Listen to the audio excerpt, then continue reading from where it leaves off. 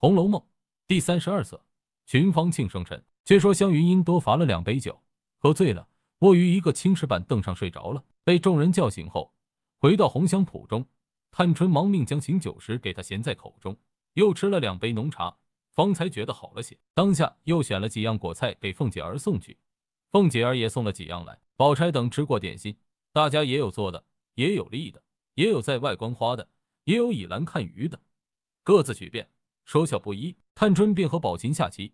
宝钗、秀妍观局。这时，探春因一块棋受敌，算来算去，总得了两个眼，便折了关着耳，两眼直瞅着棋盘，一只手伸在盒内，只管抓棋子作响。黛玉和宝玉站在一簇花下，遥遥盼望。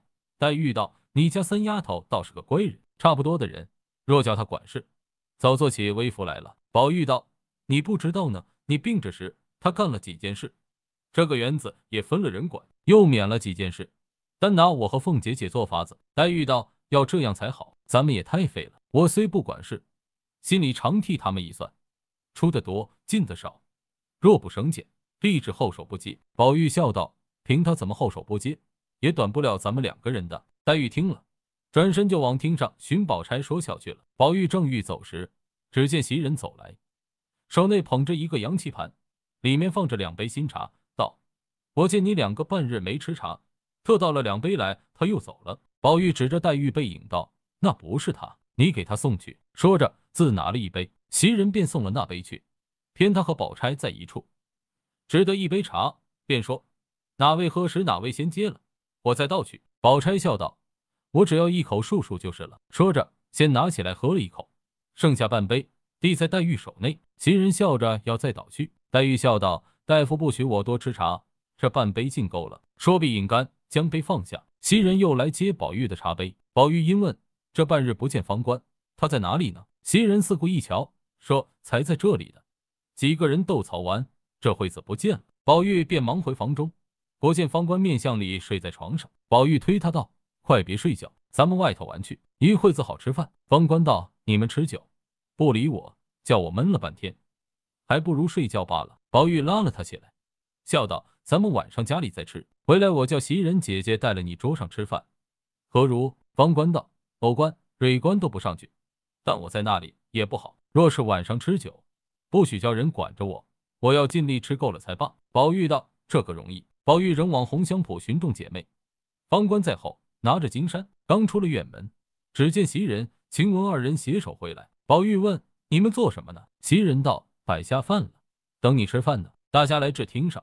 一叙坐下吃饭，外面小罗和香菱、方官、蕊官、欧官、窦官等四五个人满园玩了一回，大家采了些花草来兜着，坐在花草堆里斗草。这个说我有观音柳，那个说我有罗汉松，那个又说我有君子竹，这个又说我有美人蕉，这个又说我有星星翠，那个又说我有月月红，这个又说我有牡丹亭上的牡丹花，那个又说我有琵琶记里的琵琶果。窦官便说。我有姐妹花，香菱便说：“我有夫妻会。”道官说：“从没听说有个夫妻会的。”香菱道：“一个见一个花叫做兰，一个见几个花叫做会，上下结花的为兄弟会，并头结花的为夫妻会。我这只并头的，怎么不是夫妻会？”窦官没得说了，便起身笑道：“你汉子去了大半年，你想他了，便拉扯着会上也有夫妻了，好不害臊。”香菱红了脸，忙要起身拧他，笑骂道。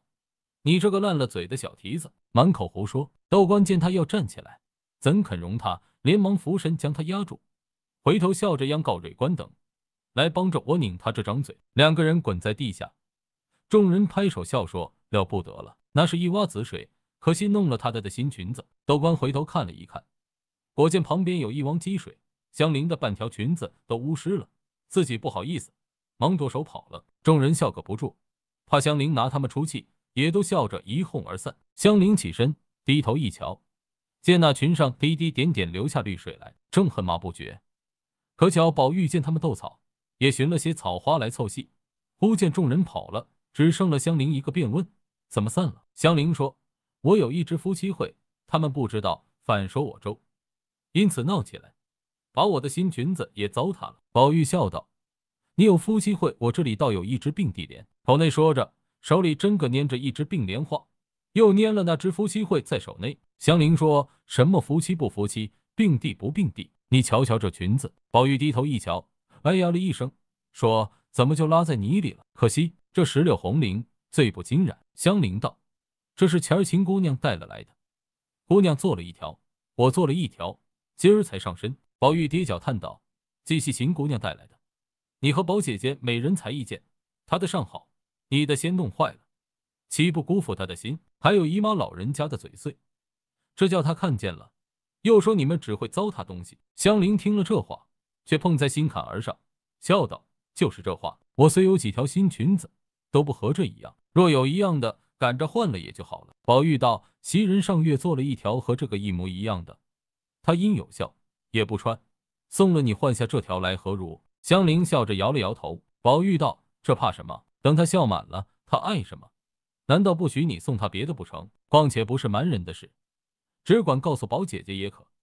只不过怕姨妈老人家生气罢了。”香菱想他说的有理，点头笑道：“就是这样罢了，别辜负了你的心，等着你。”千万叫他亲自送来才好。宝玉听了，喜欢非常，忙忙走了。宝玉心下暗想：可惜这么一个人，没父母，连自己本性都忘了，被人拐出来，偏又卖给这个霸王。音又响起上次平儿也是意外想不到的，今儿更是意外之意外的事了。宝玉胡思乱想的来至房中，拉了袭人，细细告诉了他缘故。香菱之为人，无人不怜爱的，袭人又是个手中洒漫的。况与香菱相好，一闻此信，忙就开箱取了出来。随宝玉来寻香菱，见他还站在那里等呢。袭人笑道：“我说你太淘气了，总要淘出个故事来才罢。”香菱红了脸，笑说：“多谢姐姐了。”谁知那起促狭鬼使的黑心，说着接了裙子，展开一看，果然和自己的一样，又命宝玉背过脸去，自己箱内解下来，将这条系上。袭人道：“把这烟藤的给我拿回去。”收拾了给你送来，你若拿回去看见了，又是要问的。香菱道：“好姐姐，你拿去，不拘给那个妹妹吧。我有了这个，不要她了。”袭人道：“你倒大方的很。”香菱忙又拜了两拜，道谢袭人。袭人拿了那条泥污了的裙子就走。香菱见宝玉蹲在地上，用树枝儿挖了一个坑，先抓些落花来铺垫了，将方才夫妻会与并蒂莲安放上，又将些落花来掩了。方土埋平伏，香菱拉他的手笑道：“这又叫做什么？怪道人人说你会鬼鬼祟祟使人肉麻呢，还不快洗手去？”宝玉笑着，方起身去洗手，香菱也自走开。二人已走了数步，香菱复转身回来，叫住宝玉，红着脸道：“裙子的事，可别和你哥哥说。”宝玉笑道：“可不是我疯了，往虎口里探头去呢。”宝玉回至房中洗手，因和袭人商议晚间吃酒，大家取乐，不可拘泥。如今吃什么好？早说给他们备半句。袭人笑道：“你放心，我和晴雯、麝月、秋纹四个人，每人五钱银子；方官、碧痕、春燕四儿四个人，每人三钱银子，早已交给了刘嫂子，预备四十碟果子。我和平儿说了，已经抬了一罐好绍兴酒藏在那边了。我们八个人单替你做生日。”宝玉听了，喜得忙说：“他们哪里有钱？不该叫他们出差事。”晴雯道：“他们没钱。”难道我们是有钱的？这原是个人的心意，哪怕他偷的呢，只管领他的情就是了。宝玉听了，笑说：“你说的是。”袭人笑道：“你这个人一天不挨他两句硬话，损你，你再过不去。”晴雯笑道：“你如今也学坏了，真会调三窝四。”说着，大家都笑了。宝玉又令人去关院门。袭人笑道：“怪不得人说你是无事忙，这会子关了门，人倒疑惑起来，索性再等一等。”宝玉点头。说：“我出去走走。”四儿舀水去，春燕一个跟我来吧。宝玉走到外边，因见无人，便问五儿之事，道：“上次叫你和柳家的说去，叫五儿进来，你说了没有？”春燕道：“我才告诉刘嫂子，她倒很喜欢，只是五儿那一夜受了委屈烦恼，回去又气病了，哪里来的？只等好了吧。”宝玉听了，未免后悔长叹，因又问：“这是袭人知道不知道？”春燕道：“我没告诉。”不知方官说了没有？宝玉道：“也罢，等我告诉他就是了。”说毕，复走进来，故意洗手。一时掌灯时分，听得院门前有一群人进来，大家隔窗瞧视，果见林之孝家的和几个管事的女人查上夜的人来了。前头一人提着大灯笼，只见一红院凡上夜的人都迎出去了。林之孝家的看了人不少，又吩咐别耍钱吃酒，放倒头睡到大天亮。我听见是不依的。众人都笑说：“哪里有这么大胆子？”林之孝家的又问宝二爷睡下了没有，众人都回不知道。袭人忙推宝玉，宝玉洒了血，迎出来：“我还没睡呢，妈妈进来歇歇。”又叫袭人倒茶来。林之孝家的忙进来，笑说：“如今天长夜短，该早些睡了，不然到了明日起迟了，人家笑话。”宝玉忙笑道：“妈妈说的是，我每日都睡得早，今日因吃了面，怕停食。”所以多玩一回。林之孝家的又向袭人等笑说：“该泡些普洱茶喝。”袭人、晴雯二人忙说：“泡了一茶缸子女儿茶，已经喝过两碗了。大娘也尝一碗。”说着，晴雯便倒了来。林家的站起接了，笑道：“这些时，我听见二爷嘴里都换了字眼，赶着这几位大姑娘们竟叫起名字来。”宝玉笑道：“我不过是一时半刻偶然叫一句是有的。”林家的又笑道：“虽然在这屋里，到底是老太太。”太太的人还该嘴里尊重些才是。若偶然叫一声使的，若只管顺口叫起来，怕以后兄弟侄儿照样，就惹人笑话。这家人眼里没有长辈了。袭人、晴雯都笑说：“这可别委屈他，他可姐姐没离了嘴，只是玩时叫一声半声名字。若当着人，却是何仙一样。”林家的笑道：“这才是读书之礼的。”说毕，待众人又查别处去了。这里晴雯等忙命关了门。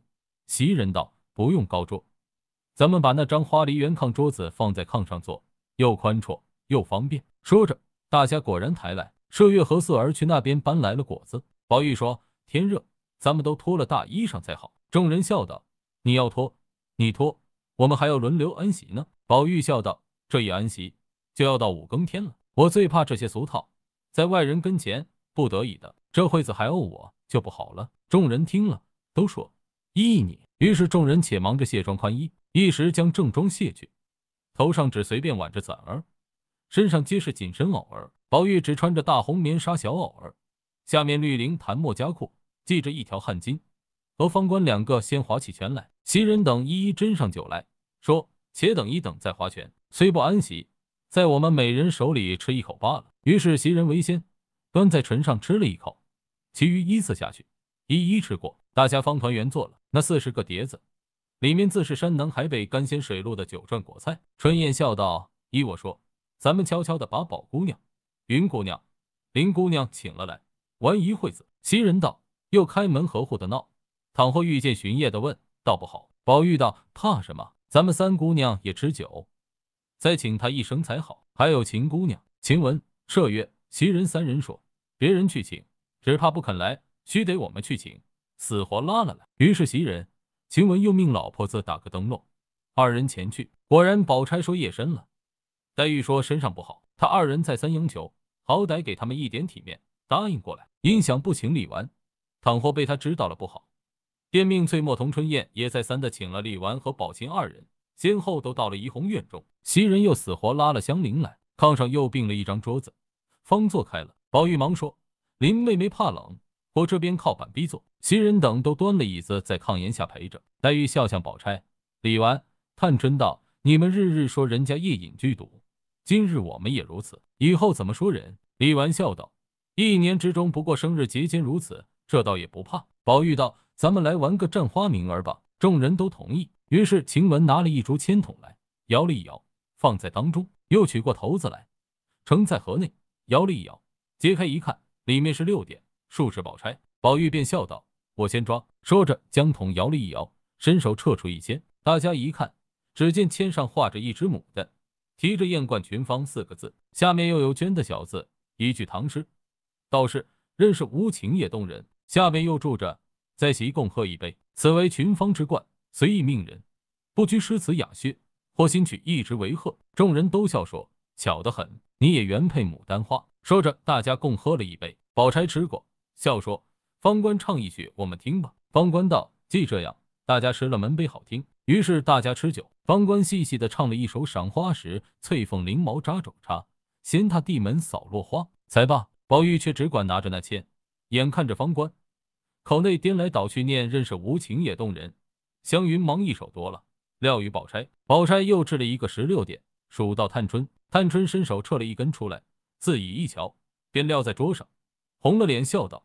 不该行这个令，众人不解，袭人忙拾起来，众人看时，上面一只杏花，那红字写着“瑶池仙品”四字。诗云：“日边红杏已云栽。”祝云：“得此签者，必得贵婿。”大家恭贺一杯，再同饮一杯。众人笑道：“这又何妨？我们家已有了王妃，难道你也是王妃不成？”大喜大喜！说着，大家来敬探春。探春哪里肯饮，却被湘云、香菱、李纨等四个人强死强活，灌了一盅才罢。探春只叫免了这个，再行别的。众人断不肯依。湘云拿着他的手，强制了个十九点出来，便该李氏撤。李氏摇了一摇，撤出一根来，一看，笑道：“好极！你们瞧瞧，竟有些意思。”众人瞧那签上，画着一只老梅，写着“双小寒”字四字，那一面就是是“竹篱茅舍自甘心”。祝云自饮一杯，下家至头。李纨笑道：“真有趣，你们志去吧，我只自吃一杯。”不问你们的，说着便自吃一杯酒，将头过给黛玉。黛玉一掷是十八点，便该湘云撤。湘云笑着，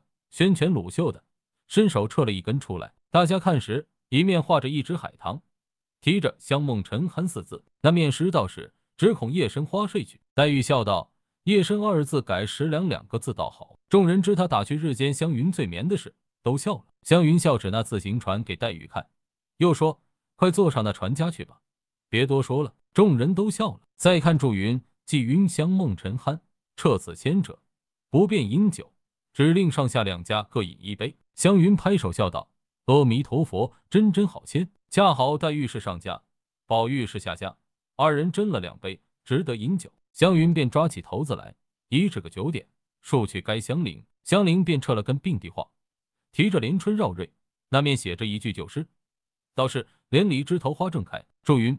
共喝撤者三杯，大家陪饮一杯。香菱便又掷了个六点给黛玉。黛玉默默的想到，不知还有什么好的被我撤着方好。一面伸手取了一根，只见上面画着一只芙蓉花，提着“风露清愁”四字，那面一句旧诗，道是“莫怨东风当自借”。再看祝云自饮一杯，牡丹陪饮一杯。众人笑说：“这个好极，除了他，别人不配做芙蓉。”黛玉也自笑了。于是黛玉。宝钗举杯饮酒，黛玉便掷了个二十点，该着袭人。袭人伸手取了一支，却是桃花，提着“武陵别景”四字，那一面写着就是“桃红又见一年春”。祝云：“杏花陪一盏，座中同耕者陪一盏，同姓者陪一盏。”众人笑道：“这一回热闹有趣。”大家算来，香菱、晴雯、宝钗三人皆与他同耕，黛玉与他同尘，只无同姓者。方官忙道：“我也姓华，也陪他一盅。”于是大家斟了酒，黛玉向探春笑道：“命中该招贵婿的，你是姓华，快喝了，我们好喝。”探春笑道：“这是什么话？”大嫂子顺手给他一巴掌。李纨笑道：“人家不得贵婿，反挨打，我也不忍心。”众人都笑了。袭人才要止，只听有人叫门，原来是薛姨妈打发人来接黛玉的。众人因问几更了，宝玉要过表瞧了一瞧，已是初二刻时分了。黛玉便起身说：“我可撑不住了。”回去还要吃药呢。众人说也都该散了。袭人、宝玉等还要留着众人。李纨、探春等都说夜深了，这已是破格了。袭人道：“既如此，每位吃一杯再走。”说着，晴雯等已都斟满了酒，每人吃了都命点灯。袭人等齐送过沁芳亭和那边，方回来关了门。大家复又行起令来。袭人等又用大钟斟了几盅，用盘子攒了各样果菜与地下的老妈妈们吃，彼此有了三分酒。